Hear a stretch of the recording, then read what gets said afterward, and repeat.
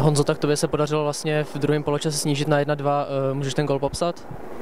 Tak já jsem, já, tam byla akce na levé straně, já jsem, já jsem se tam e, přesunul, že, že tam něco uděláme, přišel centr na zadní tyč, e, Milan Nitranský to, to vracel přesně, přesně do místa, kam měl a, a ten balon vyplaval, nikdo, nikdo u mě nebyl a soustředil jsem se jenom na to, abych to obstřelil kolem a podařilo se. Škoda, škoda že jsme pak třeba těch deseti minutách, kdy, kdy byli nalomený, takže jsme nepřidali ten druhý gól a pak, pak se to postupně vytrácelo kolem do toho konce zápasu. No. Cítili jste, že Sparta potom snižovacím gólu znervoznila?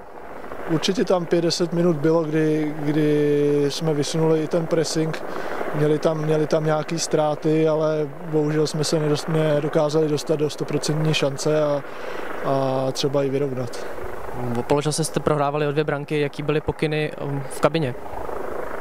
Tak pokyny byly, my jsme museli líp obsadit ten střed hřiště, protože celou první půli se tam dostávali hrozně jednoduše a, a to, to, to se myslím zlepšilo druhou půli, víc jsme to vytáhli a, a snažili jsme se, snažili jsme se prostě zvednout hlavy a zkusit snížit, vyrovnat.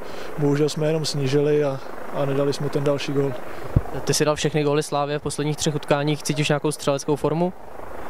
Ne, ne, ne neřekl bych, ale jsem rád za to, že, že jsem tyko ne, všechny góly jsem dal jenom dva, bohužel ty góly prostě nestřílíme a musíme se něčím chytit, aby jsme dali zase, jak doma s Libercem, tři góly a, a aby to šlo všem.